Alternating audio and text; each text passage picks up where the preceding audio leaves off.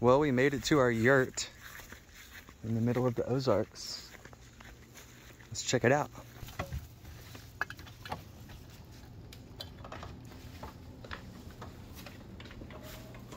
It's pretty fancy.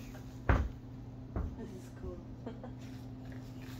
I could live in this forever, for the rest of my life.